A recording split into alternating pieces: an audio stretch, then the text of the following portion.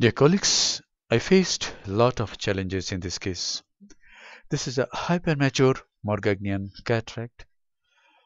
I have taken up this case for surgery. Let us see how the case was managed. By this time the main incision and on-site put has been made. The capsule has been stained. Now this is another side port on the left side of the main incision. Now I have to do capsulorhexis. Now see what happens. As soon as the anterior capsule is punctured, milky fluid comes out and I can't see anything. The anterior capsule is not visible. So I have to aspirate this milky fluid and a lot of milky fluid comes out through this opening in the anterior capsule and after the milky fluid is removed I inject viscoelastic substance. In this hmm. case, I have taken Viscoat as well as HPMC. This is HPMC. And now I take a Utrata forceps. I hold the capsular tag, go anti-clockwise and try to do rhexis. But see what happens. Here I had to I faced a resistance in pulling this capsule here at 6 o'clock. However, I could do it, but I noticed some zonular weakness between 5 o'clock to 7 o'clock. Rhexis is done. This is an adequate sized Rhexis. And now in this case, I'm going to inject Viscoat behind the nucleus, that is between the posterior capsule and the nucleus to make a cushion of Viscoat. Viscoat is a combination of chondroitin sulfate and sodium hyaluronate. It's a product from Alcon. Nice product, no financial interest, just for the for my colleagues who are new in this ophthalmic field.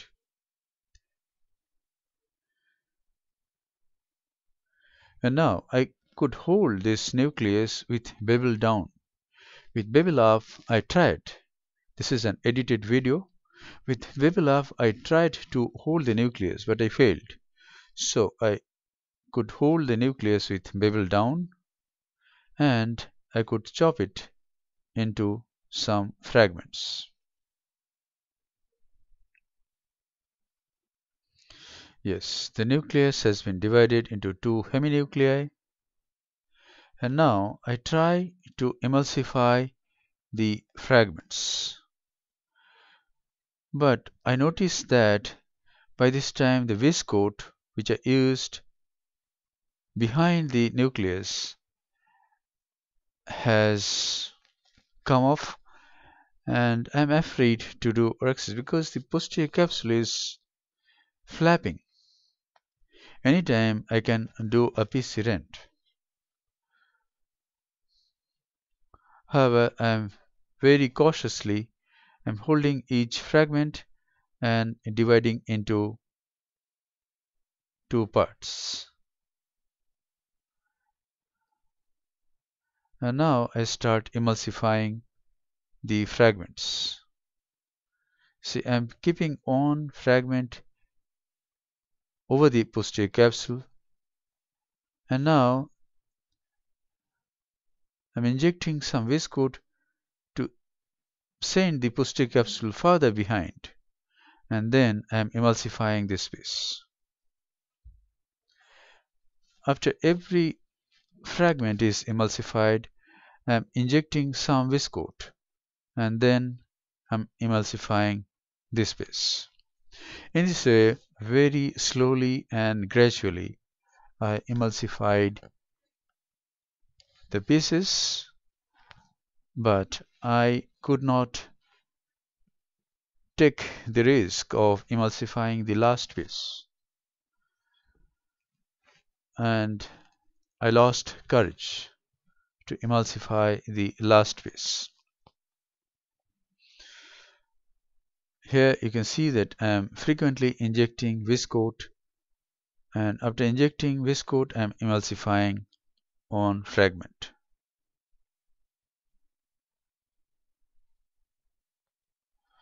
Phaco power used in this case is 70%.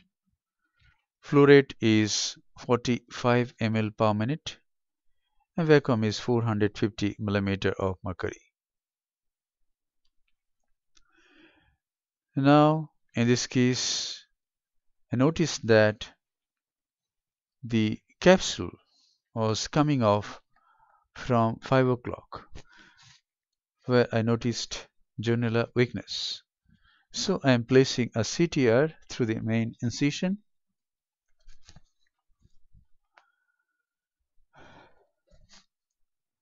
The CTR should be placed from the area from the uh, side port or main port which is diagonally opposite the area of weakness. In this case, the zonular weakness is at 5 o'clock.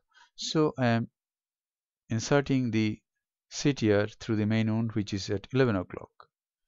And here I always take a chopper and I place it over the Sinskey hook and the CTR goes into the equatorial part of the capsular bag. And now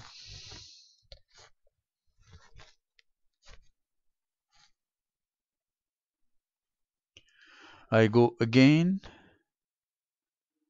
and emulsify this fragment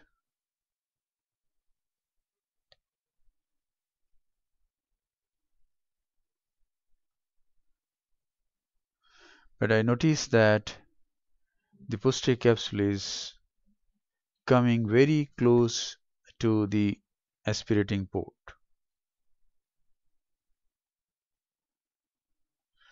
So very gently and very slowly I am emulsifying each fragment.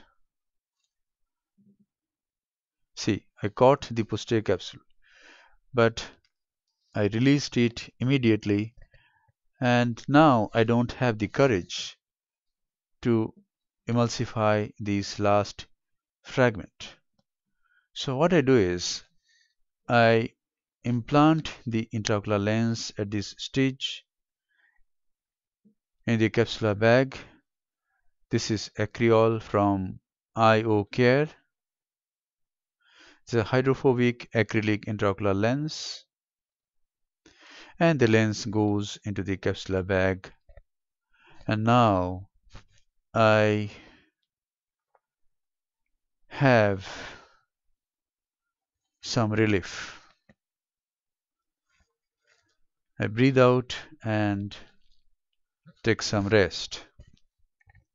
And now I confidently and without any fear of catching the posterior capsule, I emulsify this last fragment.